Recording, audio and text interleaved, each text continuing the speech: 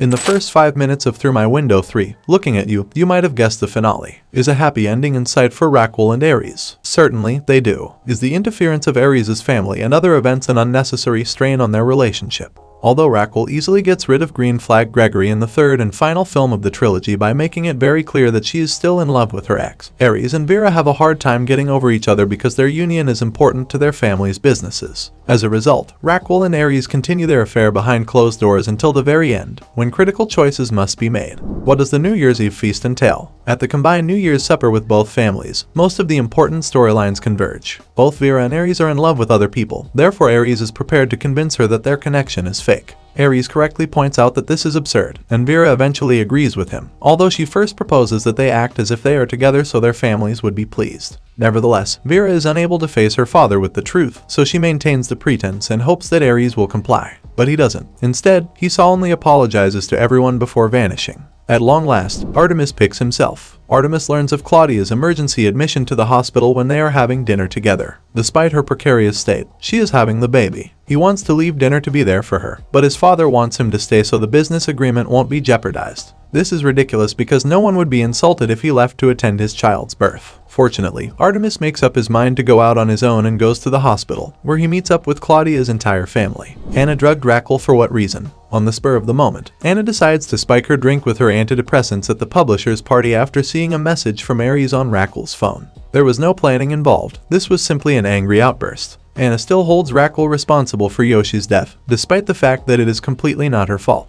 It's evident that she cannot bear to watch her find happiness. We all know that all romantic dates take place in the cemetery, so when Raquel wants to leave to meet with Ares there, Anna immediately regrets her behavior. But Raquel downs her drink and passes out in the house since she isn't paying attention. In the end, does Apollo wind up with Victor? At the same party, Apollo's accomplice Victor makes the rather amusing decision to reconcile with his ex-lover in Apollo's presence. The answer is no, Apollo does not marry Victor. Daniela, on the other hand, forgives him the moment he crawls back to her. Do Ares and Raquel perish? The climax of Through My Window 3 builds to a Romeo and Juliet scene, but it's clear that the only purpose of it is to get a beautiful aerial image of the pair holding each other as if they were dead. But it's all an illusion, and they really make it through unscathed. Let me show you the way. After being named Artemis's godfather, Ares is devastated that Raquel will not be returning to Stockholm to meet him at the grave. He calls Raquel one final time on the way to the airport, but she responds with incoherent wailing, which he interprets as a sign that she is in danger. He knows she is still at the house since he went to see her earlier and her mum informed him she hadn't come home from the publisher's party, so he goes looking for the house and smashes in to rescue her. As Ares approaches, Raquel accidentally falls into the pool.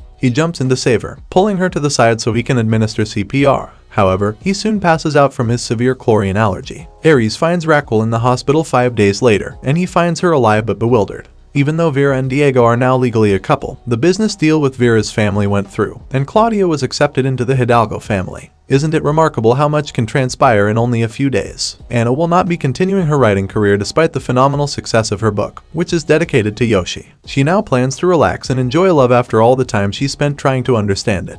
Raquel forgives Anna for drugging her, and the two of them leave a book at Yoshi's monument as an expression of their sorrow and understanding. The film concludes five years down the road. Raquel and Ares have recently moved in together. Everyone is doing okay, the children are maturing and the families are getting along. The good news is that this should end the need for us to see these films. Thanks for watching, and if you're new to channel subscribe and click the bell, so you don't miss out latest videos of Media Breakdown.